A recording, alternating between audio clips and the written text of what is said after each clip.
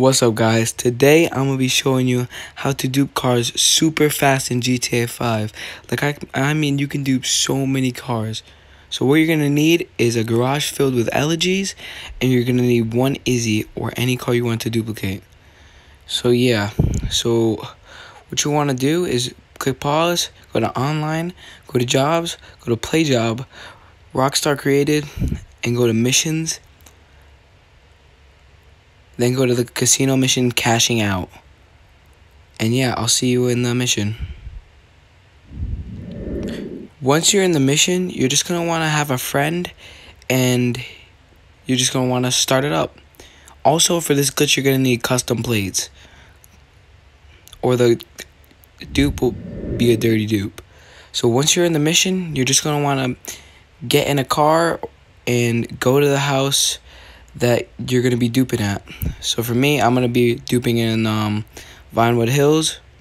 And yeah, I'll see you when at my house. Once you get to your house, all you're going to want to do is enter the garage.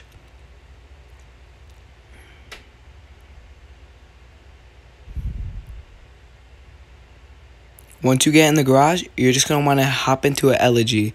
If the Issi doesn't show up, it it the the glitch will still work.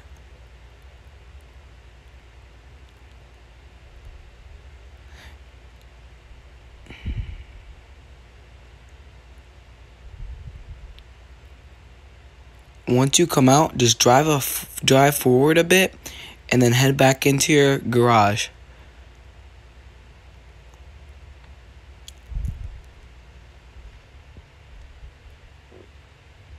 Once you get in your garage, you're going to want to go over to the Issi you want to duplicate or any car you want to duplicate.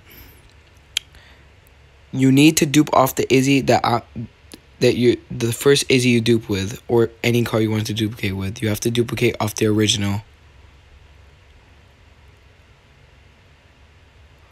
Once you drive out, you, all you're going to want to do is click request personal vehicle.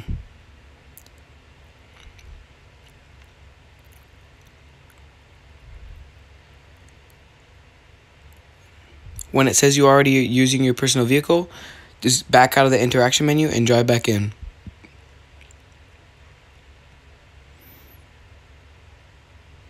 Once you're back in, you should be in the second spot and you, your car should have duplicated.